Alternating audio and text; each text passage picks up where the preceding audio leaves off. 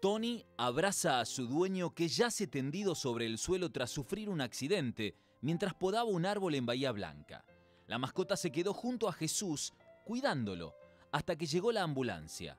Para este joven, su perro es como un hijo.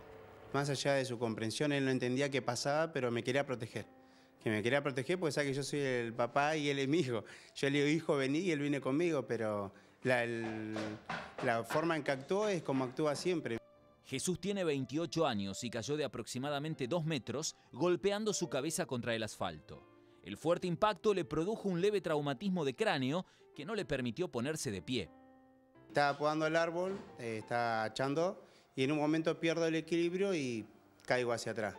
En el momento que caigo hacia atrás eh, quedo inconsciente y la, la mayoría de los vecinos dice que yo me intentaba levantar, pero yo me despierto más que nada porque tenía al- a mi hijo arriba mío que me- no dejó acercar ni a Defensa Civil ni a la policía lo dejaba acercar.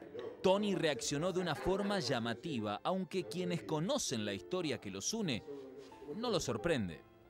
Hace cuatro años eh, él estaba en la calle, llegó un día acá a casa y estaba perdido, obviamente, como la mayoría de los perros que andan no sé, en las calles.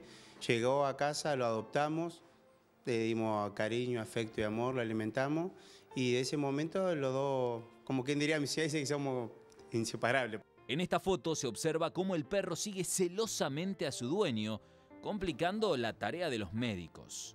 Casi muerde a uno de los paramédicos y lo tuve que, que alejar yo con el brazo como podía y uno de los vecinos lo, lo corrió porque no quería, no quería que me tocara.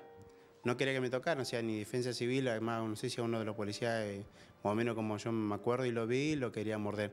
Y vos fuiste trasladado al Pena, que es atrás de tu casa, ¿y el perro cómo volvió acá solo?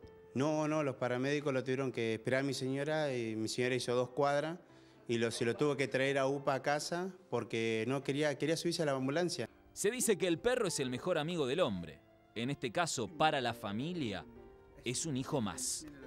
Él vive con nosotros, vive todo el día acá con nosotros adentro, más yo lo baño, yo lo, lo- le hago todo, lo saco a pasear, sale conmigo, me acompaña a todos lados, a todos lados.